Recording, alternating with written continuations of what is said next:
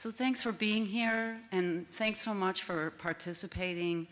They've been really wonderful events, and everything we hoped they could be in that um, we've found out about wonderful research taking place on campus that we would never have known about. And it's a great opportunity for us to be able to share that, um, especially through the, the TV station, TV channel.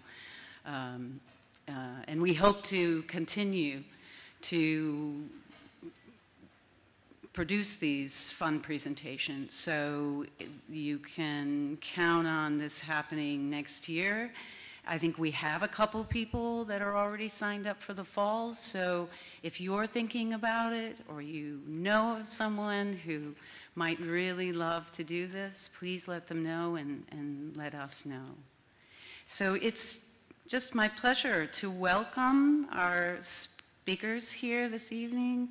And you have the information in front of you, so I'm, I'm not going to read it to you. I think, I think you can enjoy their bios on your own, but I am going to welcome them. So Dr. Sue Abdinnour, professor and holder of the Omer Professorship in the Department of Finance, Real Estate, and Decision Sciences. Is that correct? You're laughing. Did I get it right?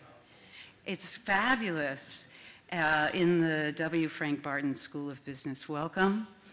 So Dr. Abdinnour is going to, I'm going to say all their names.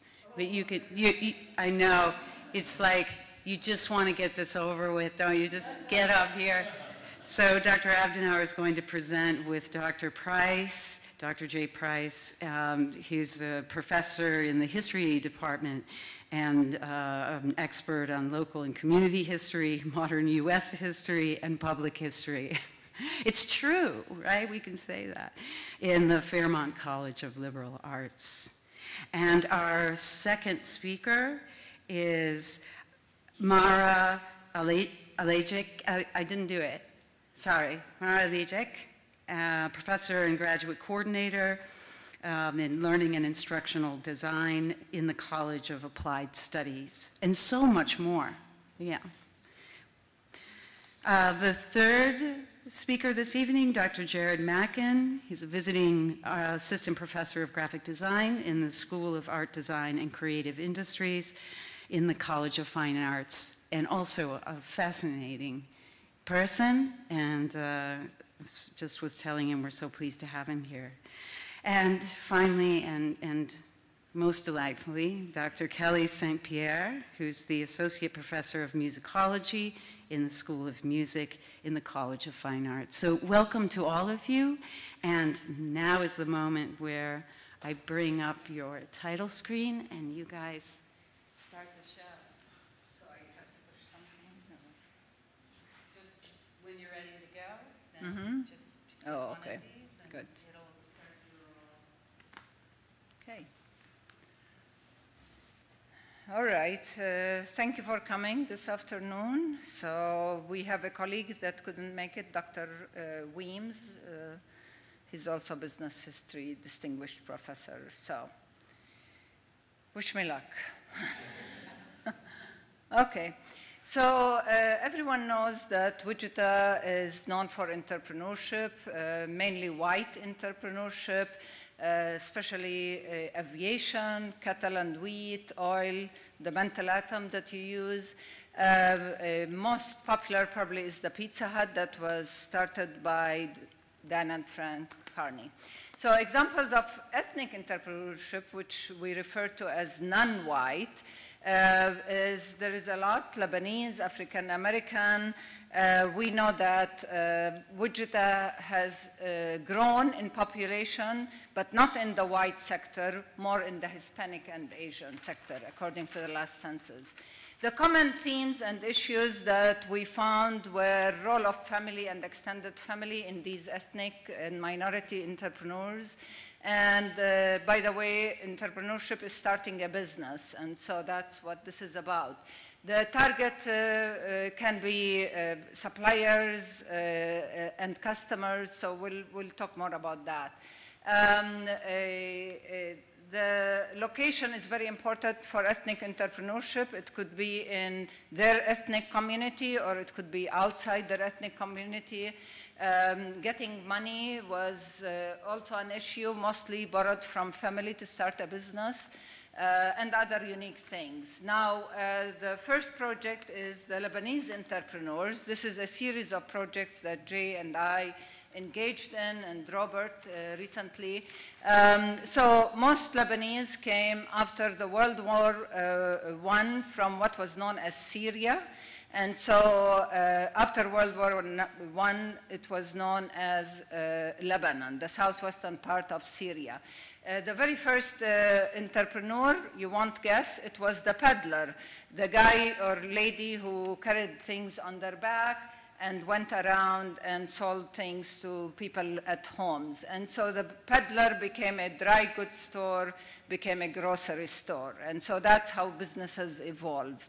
Um, uh, now, uh, if you're uh, in Wichita also, you know that um, that picture you just saw was a diner uh, that was ready-made and was sold also uh, by the Ablahs uh, for people in the hotel supply. Many other examples of the Farha family, probably a lot of you have eaten at the olive tree where Jubana and Randa Tobia were also known. My colleague, uh, uh Dr. Weems, uh, did a uh, collection history project in connection with special collections at WSU's Ablah Library, uh, the Af Wichita African American Business History Project from 2011 to 2014, consisting of 32 audio interviews with transcripts donated to the facility in uh, 2017 which over the years has been viewed as an environment that discourages rather than encourages black business development. Several individuals had to go outside of Wichita to grow their enterprises, and black eh, entrepreneurs, especially those with commercial assets, had to find it difficult, if not impossible, to get business loans. The, uh, unlike larger cities with African American populations, blacks could not establish or maintain large enterprises. And because of overt racial segregation that existed in Wichita during the early to mid 20th century, most historic black African American uh, enterprises catered to a black customer base especially coordinated around the Ninth and uh, Cleveland neighborhood. In recent decades, many black entrepreneurs have been able to reach out, however, with varying degrees of success to a non-African American clientele. African American enterprises provide personal services, though still primarily rely on black customers. The conversation resulted in a, in a discussion about what to do to cultivate the next generation of entrepreneurs. The conversation on the Broadway project began with a discussion about businesses, particularly in the Latino and Asian populations along Broadway, uh, as embodied in the Nomar International Market created in the early 2000s. So it seemed like a good way to study ethnic entrepreneurship. We used a, a, variety of techniques, including history, narrative, mapping, as well as data analysis using the NETS database from the Center for Economic Development and Business Research, the CEDBR database that looked at a series of businesses up and down along Broadway. We entertained a number of specific questions. Mainly, we knew that there were two different ethnic entrepreneurship cultures, but did these cultures mix? Did one rise and replace, no, and replace the other? Did both expand? Was this really an ethnic neighborhood? Are these incubators for businesses? Are these established icons? Is there a rise and fall? These are questions we wanted to uh, understand. What we found was that Asian businesses in the center area and lower area peaked in the 1990s and then have have since declined as Asian Americans moved to south, southeast Wichita and so forth.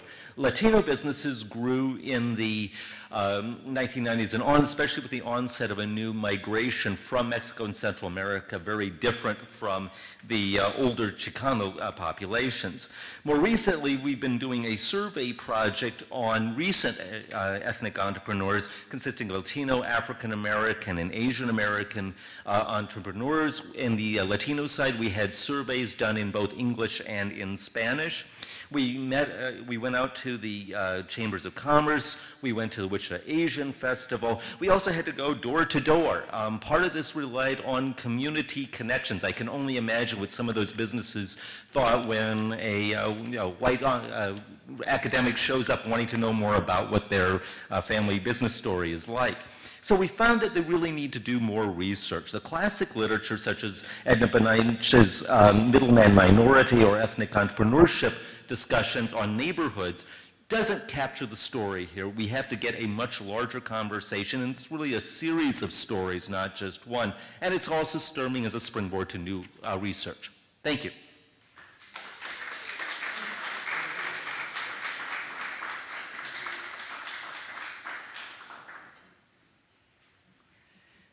I will start by saying how excited I was when I saw the announcement in January about this opportunity to, in a quick way, talk about the research, but also this is my attempt to show you my playground, my sandbox.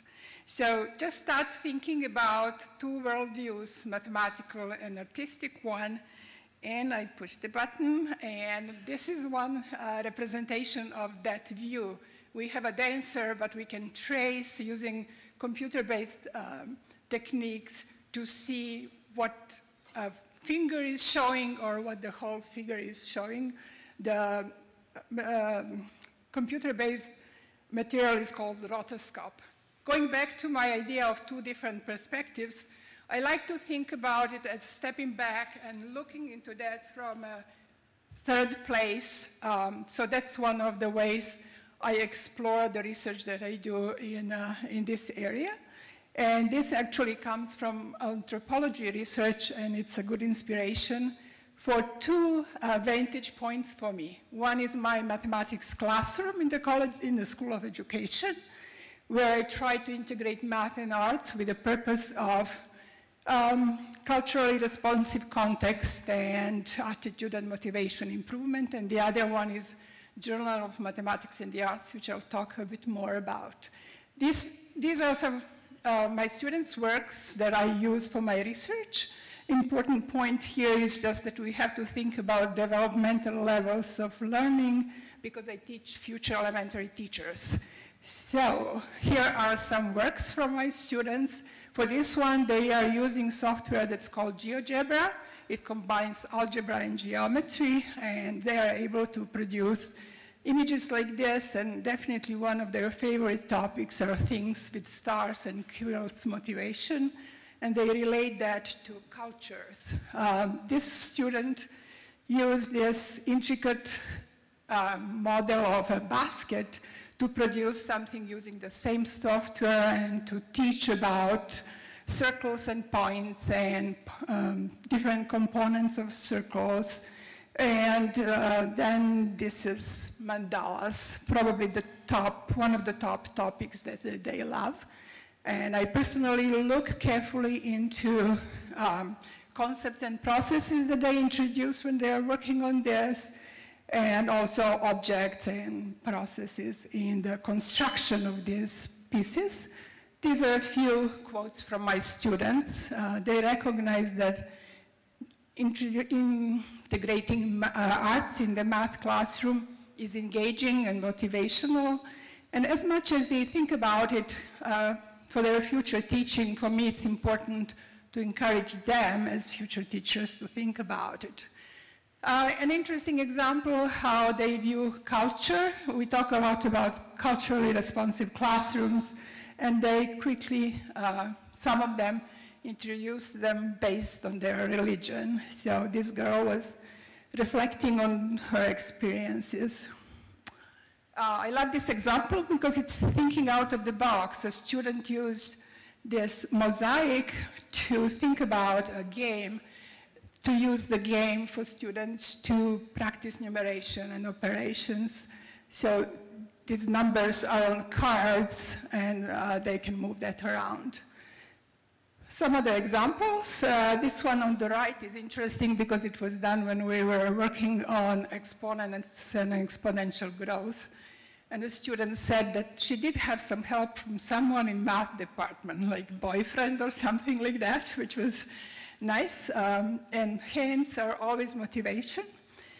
So um, these are my research questions. I did not um, collect, I did not, I'm not sharing here too much about my findings because I just want you to really think what are the things that I have, I'm thinking about when doing this mathematics and arts research. I had to use, as I transition to something else here, I had to use this opportunity to mention Reza Sarhangi, who uh, is, got his PhD in mathematics department here in WSU, started a Bridges conference in Winfield, and the conference is going on for more than 20 years uh, all over the world. Uh, you can see that this is an installation that students made in Finland, and it's published. Here is a reference in the Journal of Mathematics and the Arts, and I'm editor-in-chief for that journal. This is another installation from, this, um, from another group of students um, that I find interesting because it's part of the learning and part of their motivation to design things. I can take a breath, yes? Okay. Uh, moving, to, moving into something else, there is lots of digitally produced art, and there is this ongoing question, what is really art and how we define it?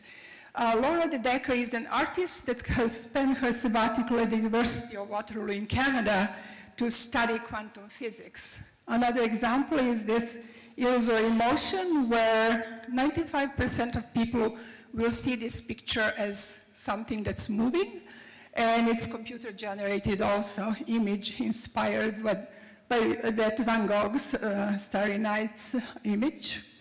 And my main point here, raise your hand if you have seen this before. This painting here, signed with this formula that you see at the top. It's really artificial intelligence product uh, using many algorithms. My question for me and for you is, who is the artist here? Uh, it has been sold for half a million dollars at Christie's auction. And this is just my conclusion. Interdisciplinary work is amazing field to play with. On the left, it's um, front page of the journal that was devoted to education that just came out. Thank you.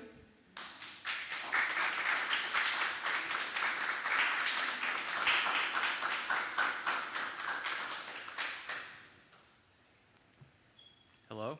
Can you hear me okay? Is that close enough? Is that a little bit better, maybe? Um, okay. Um, I'm an architect and a designer and a theorist who researches the intersection between architecture and the city. And uh, the two are so intertwined, uh, I feel like they can't be separated uh, as a research topic. And this image on the screen is, a, is just one of my projects that explores this relationship. My research produces cultural artifacts, and this is an image of those artifacts. It has different outputs, ranging from research to teaching to books to exhibitions, and then also what I call one-to-one models. Um, but all of these, um, all of these different artifacts then uh, span different mediums, but then use specific architectural tools of representation as this image shows. It's an axon that also explains um, my research. Um, one example of these artifacts is my book, The Western Town, A Theory of Aggregation, which uh, studies the city through the fictional towns of Wild West movies instead of uh, real world locations. Um, but the book actually makes the argument that these fictional towns are real since they loom in our collective consciousness so strongly. And despite being fictions, I found these towns to be extremely productive as case studies. And I learned many different things, but one of the most important things I learned was how these towns form public spaces without any infrastructure or formal street systems, just architectural form.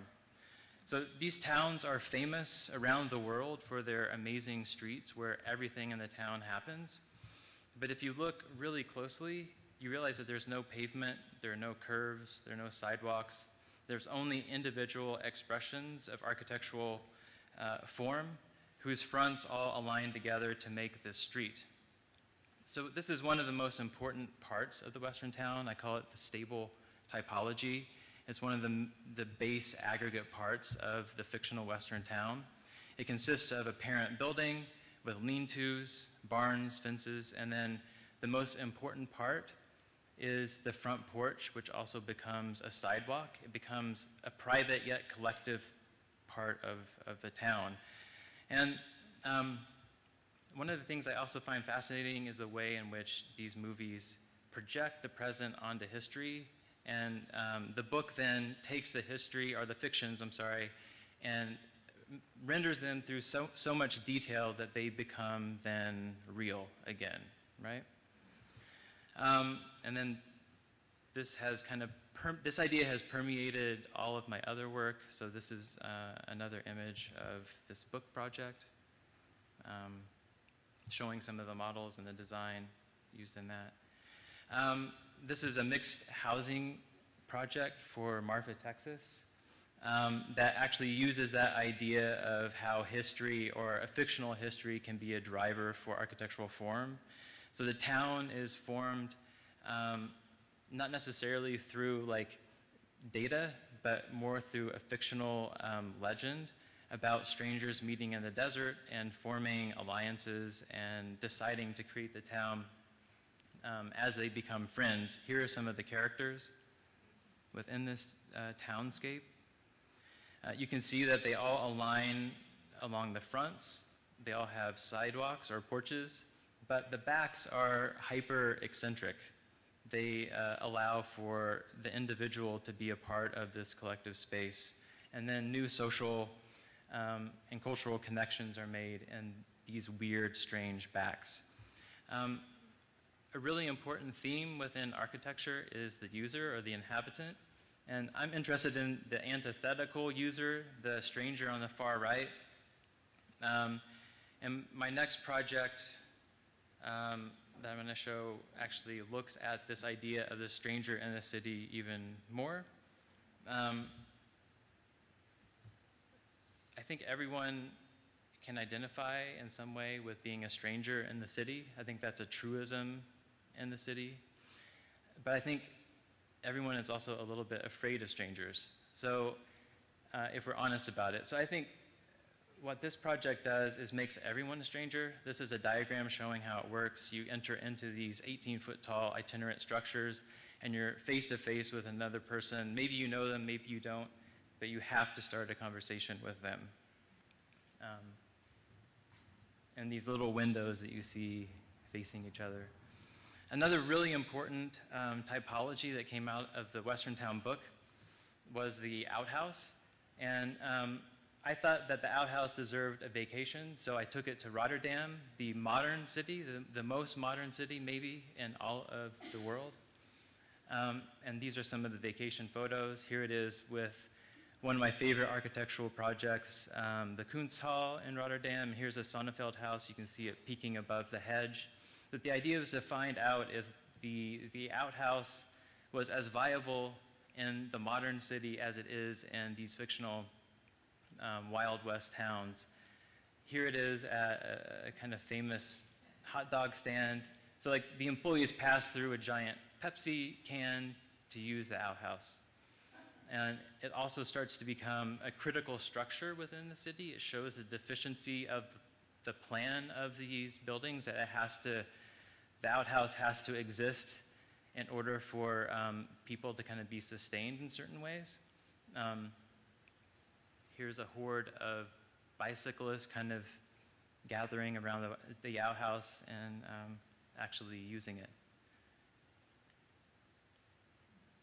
I want to um, end the image or end the presentation today with an image of a model I produced for the, Ar the Architecture Biennale in Rotterdam. Um, it shows architecture actually looking at itself through a substructural mirror.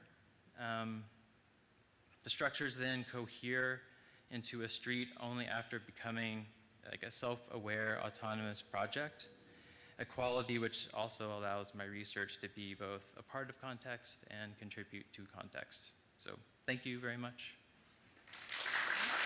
I am here because my name is indeed Dr. Kelly St. Pierre, and I am a musicologist, which is a profession that sounds like a punchline, and in some ways it is.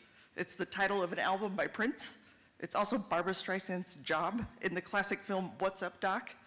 during which she explains her research as recording the sounds of rocks. I do not record the sounds of rocks. I'll leave that to the composers. Ha, ha. Right, okay. Instead, to be a musicologist is to be a music historian, like an art historian, but with a more pretentious and ridiculous sounding title.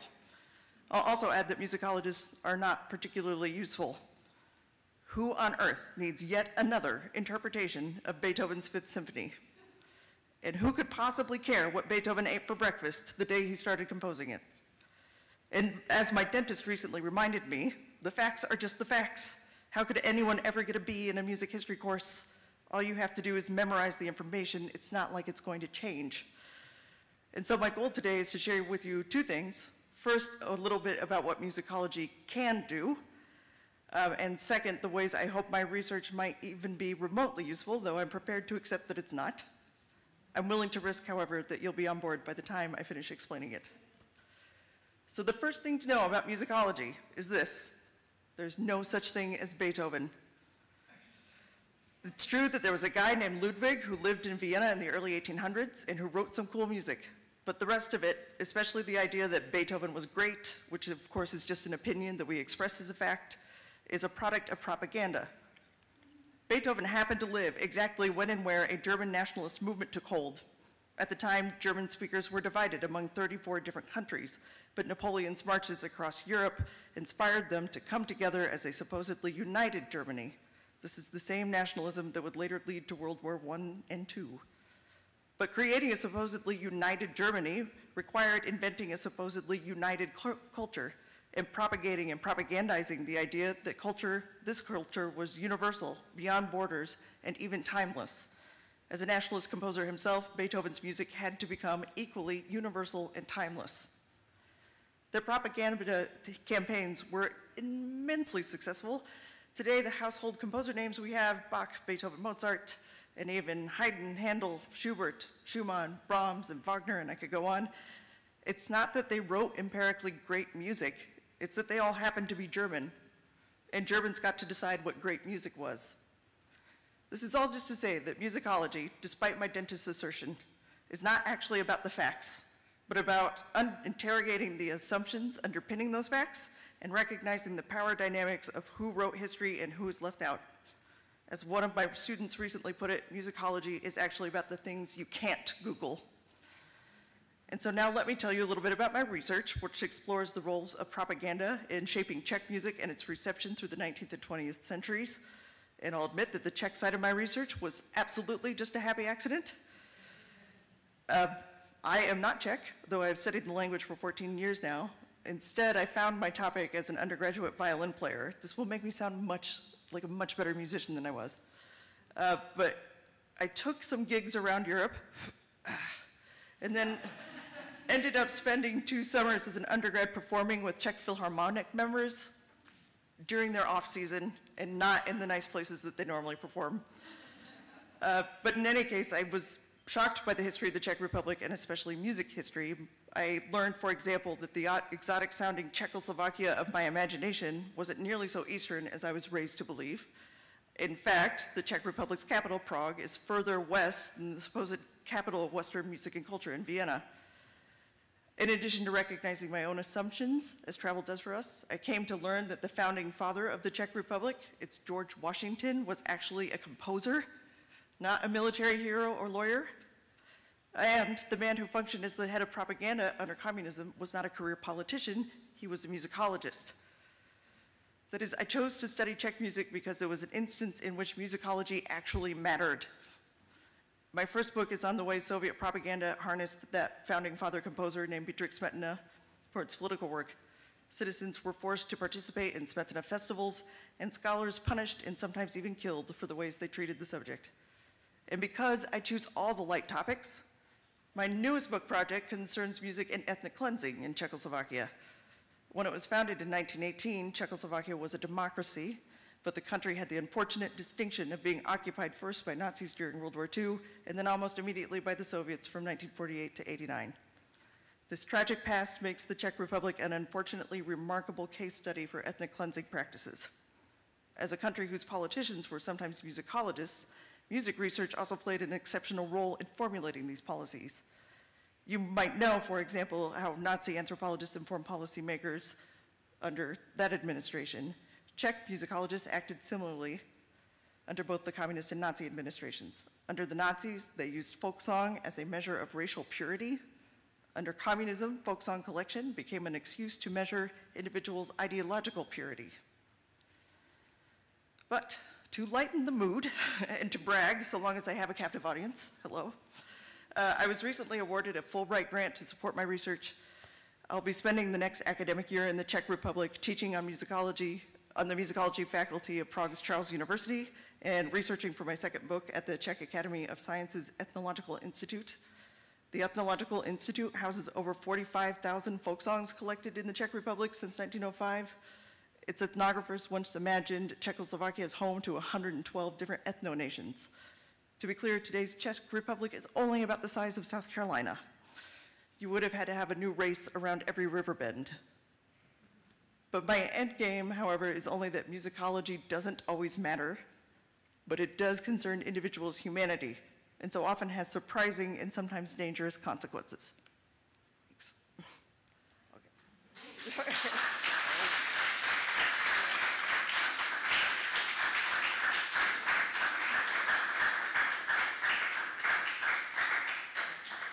Wow, you guys are outstanding. Thank you so much. And as I was saying at the beginning of this, it's exactly what we had hoped for. So thank you for being here.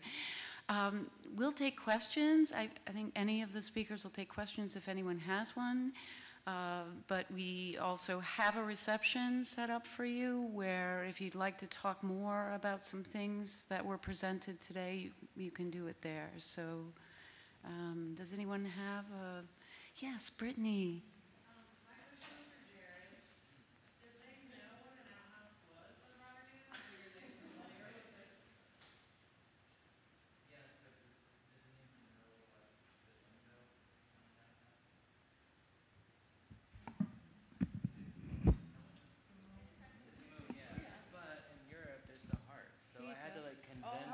So the maker, the maker um, was actually, oh. Yeah, the, the question was, does Europe know what an outhouse is? Is that what it was? And my question was, does anyone know what the window on an outhouse is? And people answered a crescent moon. But in Europe, it's a heart, and I had to convince the, the builder of the outhouse like, I didn't actually move it over there. Um, that it needed to be a Western outhouse. But they do know what it is, and it's the same size, and it just has a different window.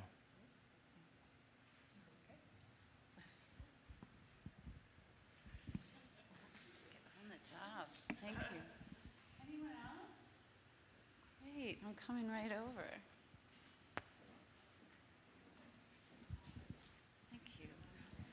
But I was just going to ask Jay Price if he could say a word about his project with Enrique Navarro. Sure. Um, uh, the question of the, the, project that I'm working on with Enrique Navarro, one of the spin-offs of the project, as we're looking at the North End and the Latino community, and we're in the process of uh, doing some collecting of the uh, the families, especially um, the 20s through the 70s, as that generation and series of generations try to understand what it means to be American, Mexican, and how they and how they navigate that. One of the things that's really come out of this research is the realization that the community of uh, Mexican Americans in the middle 20th century had a very, very different experience as opposed to recent immigrants. And those are two very different um, populations with different businesses, different practices, and so forth. So we're trying to unpack some of that.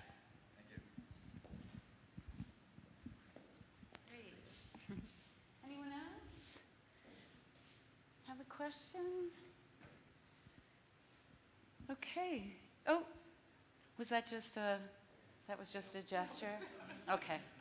All right, why don't, sorry. Um, just invite you all to join us just outside in the uh, walkway for uh, a little reception where we can talk more. Thank you.